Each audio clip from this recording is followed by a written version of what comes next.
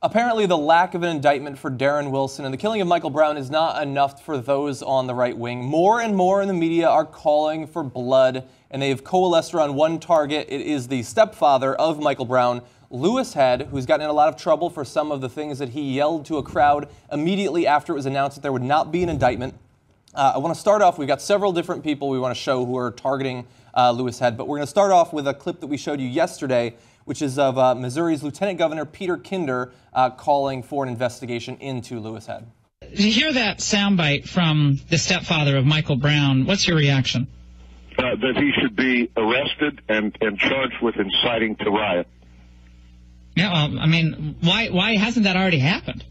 I mean, we, this should be mass arrests. Yeah, mass arrests. The mass injustice is not enough. They also want mass arrests. Now, we do have more people that we're going to play. But before we get to that, we want to show you the actual videotape of Louis Head and what he screamed to that crowd. And remember, immediately after it was announced, there would be no indictment whatsoever.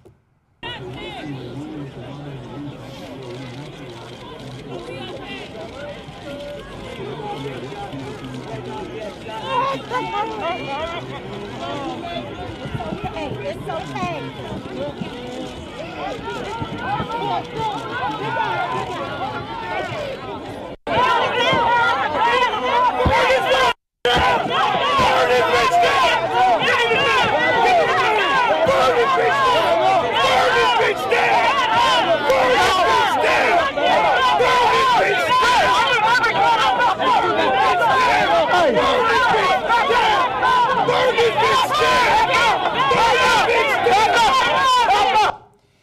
So he seemed to have said burn this bitch down a couple of times. Yeah, several times. It's pretty clear. Yeah. Yeah. And so, uh, first of all, was it wrong to say that?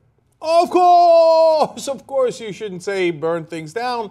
Uh, first of all, of course, in a lot of ways, you're burning your own community, and uh, Mm-hmm. obviously, innocent people could get hurt. These are all things that are super, super obvious, right? Now, he's a stepfather. Uh, uh, what uh, would be your reaction if somebody shot your son or your stepson in the head when he was unarmed? You might be a little angry, right? Now, so but that's not my primary focus here. My primary focus is going to be on these clips that we're going to watch, right? Yeah. Because all of a sudden the cops have sprung into action. When it was in the ca- case of their uh, compatriot Darren Wilson, oh golly gee willikers, prosecutors couldn't figure out how to put together a case. Yeah. Uh, they, they just grant, how do I indict in a grand jury? I don't know. Yeah. Golly gee, we've never done this He, before. well, he was inexperienced. He'd only been doing it for like 23 years. Right. Now, in terms of when somebody gets shot in the head, now look, that's a long, long, drawn out investigation, right? But when somebody gets upset that somebody got shot in the head and there was no Yeah. repercussions, well, then we got to take immediate action. Yeah. John, uh, let's Yeah. talk about immediate action that has to Yeah, be taken. and, and let, let's be clear about the immediate action. We're going to play these tapes for you, but this is not just now uh, sort of speculation about should he be investigated. According to CNN, police have not spoken ahead about his actions, but they intend to do so.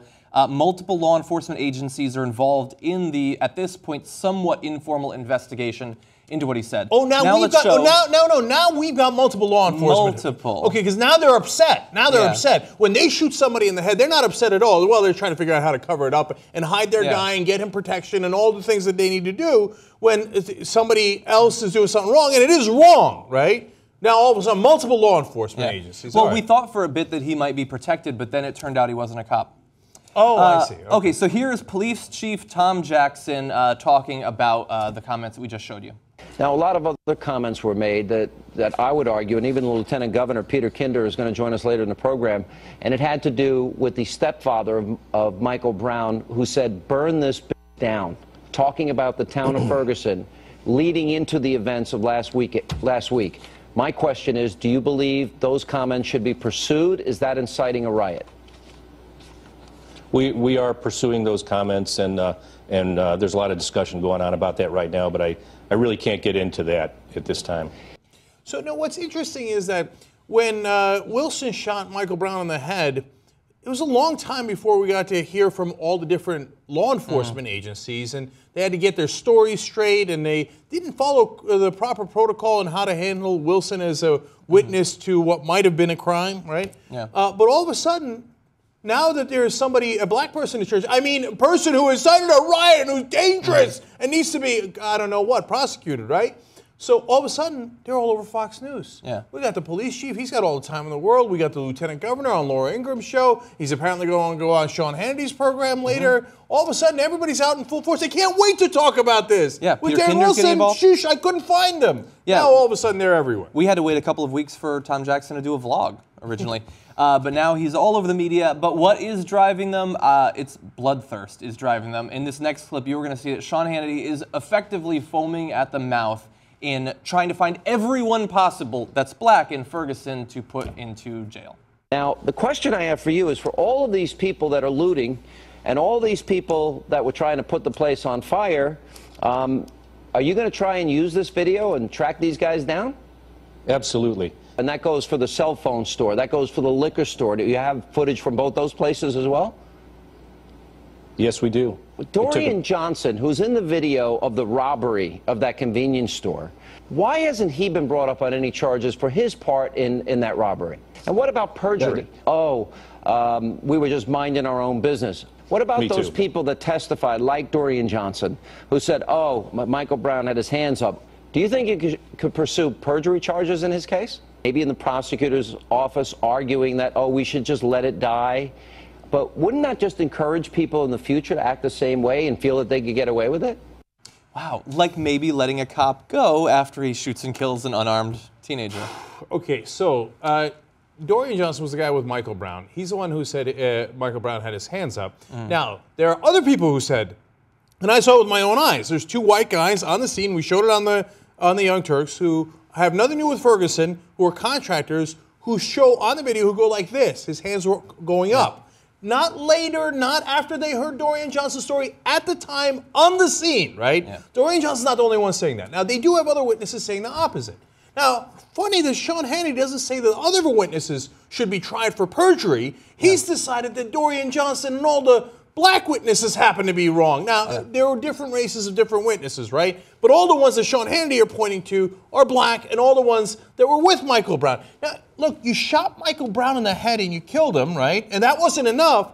Well, why didn't they shoot Dorian Johnson? Why are we going to let him get away with it? Let's go put him in jail. Yeah. We got a black man not in jail yet. What are we doing? Now, look, I, I look. The looters drive me nuts. I don't want people to get get me wrong here. Okay. Yeah. I, I, I if you got those guys, of course you should pursue charges. They're stealing. They broke into some guy's store. I don't want to break into people's store. If you saw somebody lighting a fire, are you kidding me? Of course you should go after them. Somebody innocent's going to get hurt. Yeah. Okay. But eh, be even-handed for Christ's sake. Somebody got shot in the head and you didn't gi- give a damn. Yeah. You made every excuse in the world. The guy was unarmed, right?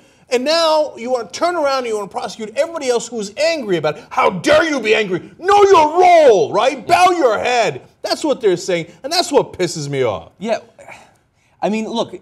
Yes, I agree. The people who are rioting should probably be investigated if they can get a close look at their face and they, they were stealing something. But, like, you as a member of the media, just let the cops handle that. You have a certain agenda when you bring Tom Jackson on your show. His agenda is this community, which feels like it has just been punched in the stomach once again. Fuck them. We need to put as many of them in jail as possible. And he's joining just a chorus of right wing voices saying that. Like, he doesn't care at all about the inconsistencies in Darren Wilson's testimony, the fact that he said that he angled his car so that they couldn't escape, even though Tom Jackson says he didn't know about the robbery. Um, the fact that he says he saw Michael Brown reaching into his waistband, even though Michael Brown didn't have a gun, and even though Darren Wilson had already said he didn't believe he had a gun, that's still sort of an excuse for wanting to shoot him. Huge inconsistencies. The fact that Dorian Johnson's testimony, not just about the hands up in the air, disagrees on almost every point about what actually happens, which to me would be cause to go to trial so you can actually figure out which one of them is telling the truth. He doesn't care about any of those inaccuracies, just lock up as many black people as possible. And two more things. Uh, number one, we've got a quote by police chief here, Arati here. He says, Everyone who's responsible for taking away people's property, their livelihoods, their jobs, their businesses, every single one of them needs to be prosecuted to the fullest extent of the law. Okay, so taking away people's property is very, very important, right? And Yeah. that goes to my second point. Stealing those Cheetos from that convenience store is outrageous, right?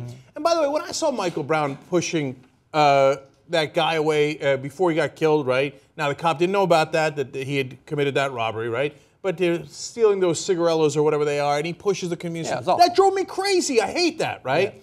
Now, but what's worse, guys? What's worse? Stealing the Cheetos, stealing a TV, whatever they're stealing, stealing cigarettes. Those are terrible.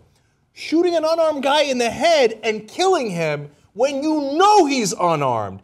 I categorize that as slightly worse, but they don't. They don't. No. because they You- think, he's being because very they clear. Believe, because they believe Darren Wilson that he looked like a demon. Yeah. The guy said he looked like a demon. I mean, how obvious is it? How brazen is it?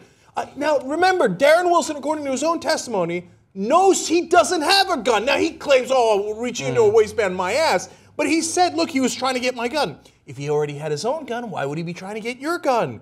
And, and you know he didn't get it because you still have it. You know it because he's running away. Well, how do you And know he's running away? down. Because he's running away from the car. Nobody disputes that. He's running away from the car. Oh, no, no, no, no. He saw a demon. He saw a mm-hmm. demon, John. Yeah. So you're not upset that the kid got shot in the head. Oh, my God, you called him a kid when he's 18 years old. Didn't you see how large he is? African Americans are very large and scary. By the way, everybody who's responding to me on Twitter, social media, everybody else, you're all pussies, okay? You're all talk about, like, oh, what would you do if you had a large black demon coming towards you? Mm-hmm. Well, look, man, as a cop, you got a baton, you got a taser. Although Wilson says he was too lazy to carry his taser. Yeah. Oh, I'm sorry that we inconvenienced you. You weren't too lazy to carry bullets in your gun, right? Yeah. That you used to put 12 bullets in, or t- f- fired 12 bullets and put some in his head, right? You weren't too lazy about that. You got pepper spray, you got all these options. But that, okay, also coward Darren Wilson.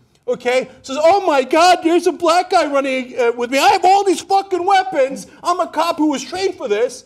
But oh, he's 35 to 40 feet away. Later, I'll claim it's six feet, although I never really disputed it. It's 35 to 40 feet away. I'm so scared of the demon. And so, what does he do? He doesn't risk anything. He doesn't risk anything. All he does is take him out and shoot him in the head. And all these pussies like Hannity, who are all so scared, they're so quivering. Oh, black people, I'm so scared of them. Let's lock them all up. Let's lock them all up. They stole Cheetos. They stole Cheetos. They said something wrong, right?